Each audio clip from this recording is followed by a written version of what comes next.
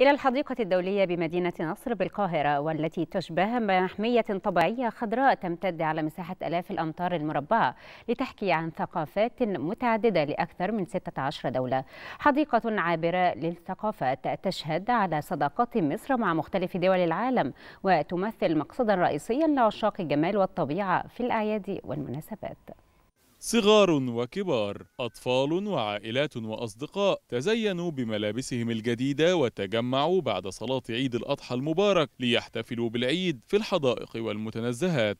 وحينما تتحدث الزهور بلغات العالم يأتي الحديث عن الحديقة الدولية بمدينة نصر المليئة بالأنشطة والفعاليات. نحن بنقدم لشريحة معينة من الجمهور خدمة معينة بسعر الحقيقة مناسب جدا يعني.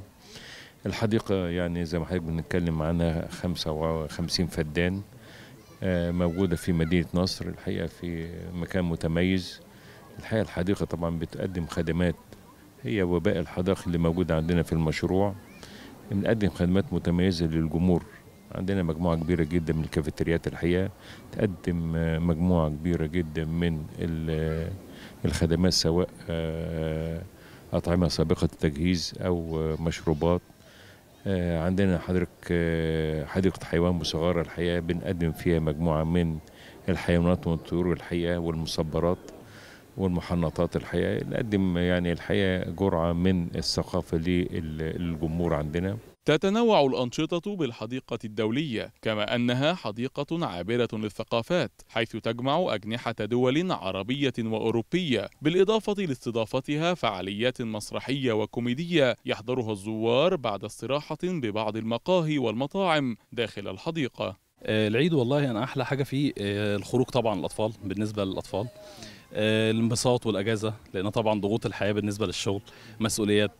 فلازم الواحد طبعا في العيد يرفع عن نفسه شوية يخرج يشوف أولاده.